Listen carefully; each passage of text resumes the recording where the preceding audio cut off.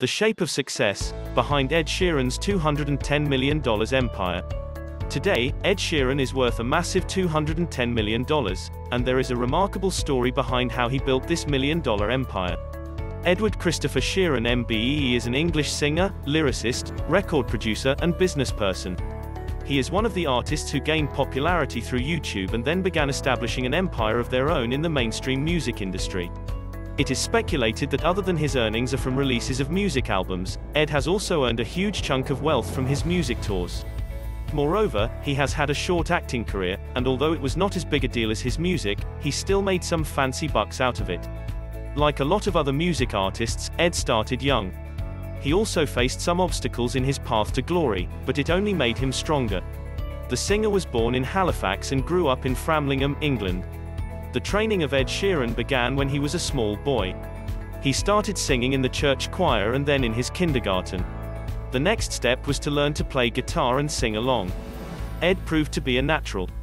One of the primary inspirations of Ed Sheeran was the renowned singer Damien Rice whom he met at the age of 11 and got invaluable advice. Rice encouraged Ed to start writing his music as he saw potential in the 11-year-old. The rest is history. As Ed was already a fan of the singer, he took Rice's advice very seriously. He began composing his songs the next day itself and, over the years, got self-trained in the art. Soon he was recording some of it on CDs and selling them. His first recorded EP was called The Orange Room. Life wasn't very easy at the beginning of Sheeran's music career, but it was exciting. When he discovered his calling for music, he headed out immediately to London to start a real career there and was barely 14 at this point. The singer headed out to a big city with just a bag of clothes and his guitar. It's not like Ed Sheeran tasted fame immediately, but one could say that his career was taking off gradually. He got in touch with London's local singer-songwriter circuit and began recording songs. The singer released one of his first, Spinning Man, in 2004. The next year was the release of his first EP, along with two more albums. By this time, he had a small fan following, although it was not at an international level. One of his early life breakthroughs was having about 1,000 fans come to his gig when he did a free show at the Barfly in Camden Town. The first stepping stone to Ed becoming a pop star was moving to the US in 2010 and catching the attention of Jamie Foxx. Foxx then asked him to appear on his Sirius radio show, and within a year, Sheeran released another EP. He got signed by Atlantic Records after his work ranked his number 2 on iTunes. Finally, it was time for the singer to come up with his debut studio album, and as expected, it became a super hit. In the first six months itself, it sold over a million copies. Everybody knew that Ed Sheeran was now a star as he started collaborating with other pop stars like Taylor Swift and even accompanied her on music tours. Some of his singles that became insanely famous were Photograph, Don't and Thinking Out Loud, which also won the Grammy Award for being Song of the Year in 2016 and Best Pop Solo Performance.